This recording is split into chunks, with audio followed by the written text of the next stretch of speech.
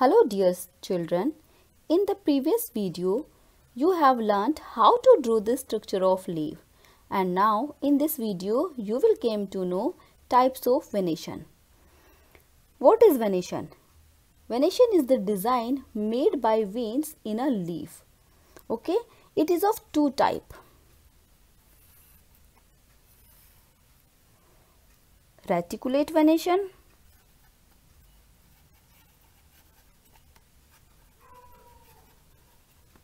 and parallel venation.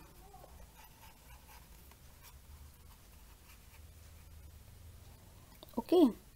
When the vein makes net-like design on both side of midrib, it is called reticulate venation.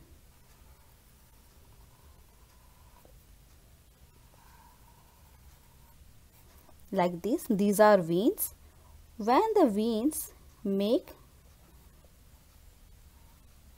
this type of design it is called reticulate venation.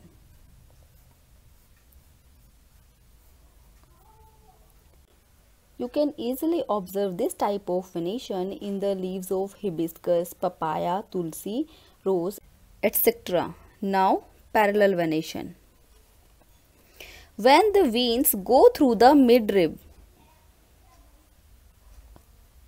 This is called parallel venation. Like this. This is midrib and all veins are parallel to midrib. This is called parallel venation. This is called parallel venation. This type of venation is easily observed in grass and you can also find the parallel venation in the leaf of banana. But the veins are parallel to each other, not parallel to the midrib. Like this. This is midrib and veins are parallel to each other.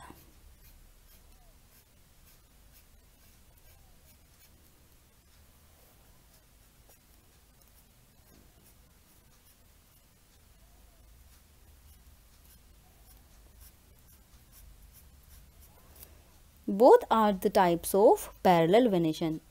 It is found in grass and it is found in banana leaf.